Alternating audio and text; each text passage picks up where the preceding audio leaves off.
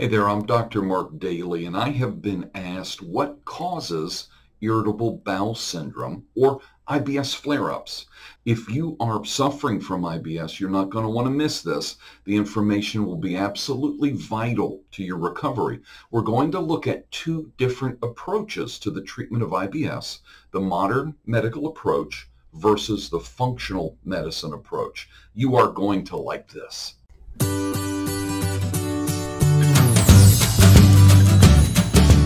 Okay, so what is irritable bowel syndrome or IBS? IBS is a group of symptoms that affect your digestive system. It's a common but uncomfortable gastrointestinal disorder. People with IBS get excessive gas, abdominal pain, and cramps. So IBS is a type of functional gastrointestinal disorder. These problems cause your digestive tract to be very sensitive. They also cause changes in your bowel movements and your bowel muscle contractions. The result is, again, abdominal pain, diarrhea, and or constipation. Researchers have categorized IBS based on the type of bowel movement problems you're having the kind of IBS that you have can affect your treatment. Now, certain medications only work for certain types of IBS. Often people with irritable bowel syndrome have normal bowel movements some days and abnormal ones on other days.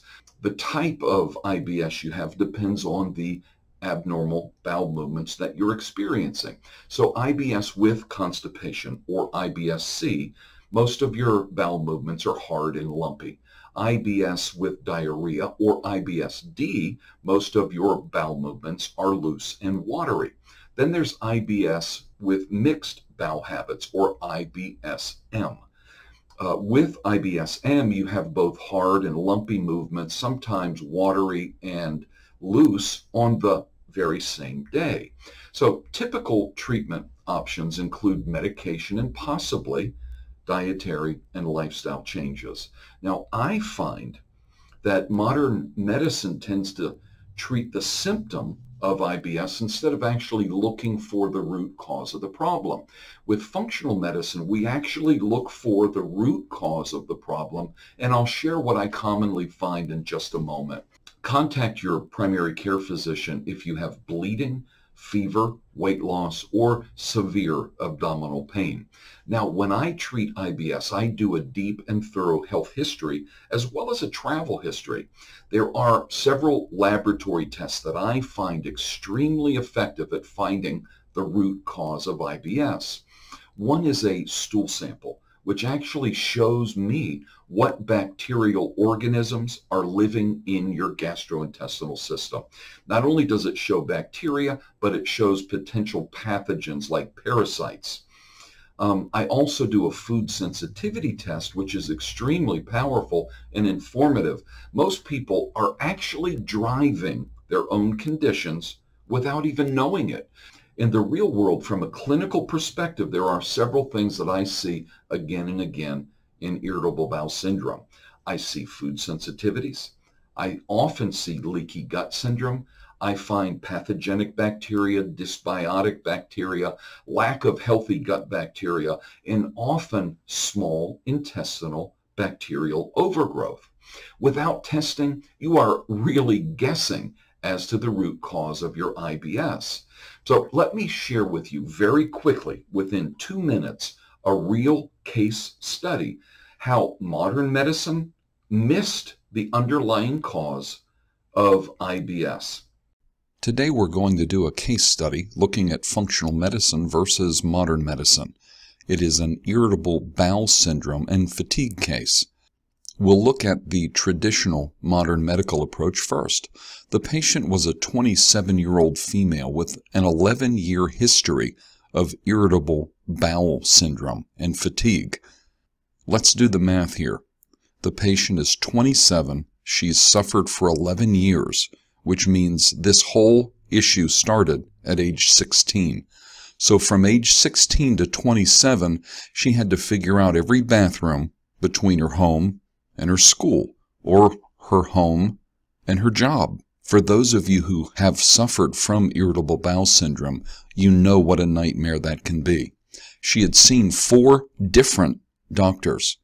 The medical testing consisted of an upper and lower GI study and a colonoscopy, all of which were found to be negative for any pathologies. Treatment consisted of prescription medications. The results were poor. The functional medicine approach started with an extensive history and review of medical records. The functional medicine practitioner ordered a digestive stool analysis and an allergy blood test. Two bacterial pathogens were found to be affecting her intestines. The medical literature clearly linked these two pathogens to diarrhea disease. In addition, her allergy test revealed a sensitivity to gluten and rice. The patient was prescribed a natural pharmaceutical that helped eradicate the two bacterial pathogens and was placed on an elimination diet, addressing the rice and gluten sensitivity. After one month, she was symptom free. Functional medicine did in one month what modern medicine couldn't do in 11 years because they didn't remove the triggers. Symptoms are visible represented on the top of this picture the tip of the iceberg arthritis, diabetes, heart disease, autoimmune diseases, cancer, and obesity, and of course, fibromyalgia. The underlying causes are not so easy to see. They require an in depth health history, metabolic assessment forms, and if necessary, advanced testing. As you can see, this poor girl suffered for literally 10 years because modern medicine didn't look for the underlying cause, and they were satisfied simply to treat the symptoms. Now, if you have had irritable bowel syndrome, you know that you have memorized every bathroom from your home to your workplace, or from your home to your grocery store, or from your home to school. It is no joke. It is a major inconvenience. And this poor girl suffered for literally 10 years because modern medicine didn't look for the underlying cause. Please do not let that happen to you. The proper testing is at the heart of recovery, and it's so easy. You can do it at home. The advanced laboratory testing actually identifies what the enemy is, and only then can you develop a treatment protocol that's designed to bring recovery. Now, if you would like my help, I'll be happy to send you the test kits. The food sensitivity test is simply done with a finger prick and a few drops of blood on a test panel. The stool sample obviously is done with a small sample of your feces, and that can be collected right in the comfort of your own home and sent directly to the laboratory. In the test kit, you have everything you need to get your sample. Now, if you'd like to schedule a time to talk with me about the testing, I'll leave a link to my schedule in the description below. My hope is that this video has given you some insight and hope that you can actually recover from IBS and not simply manage the symptoms, which can be life-altering. If this video has been helpful, please like it and subscribe to the channel we put out a video every week designed to help you overcome chronic conditions and enjoy better quality health. Dr. Mark Dailey is the founder of Fibromyalgia University, the president of Birmingham Functional Medicine, creator of Fibromyalgia Heroes, which is a coaching and implementation recovery program. He is a certified functional medicine practitioner, a nutritional counselor, and a doctor of chiropractic. He has advanced education in functional endocrinology, functional blood chemistry, the brain and neurotransmitters, as well as thyroid function.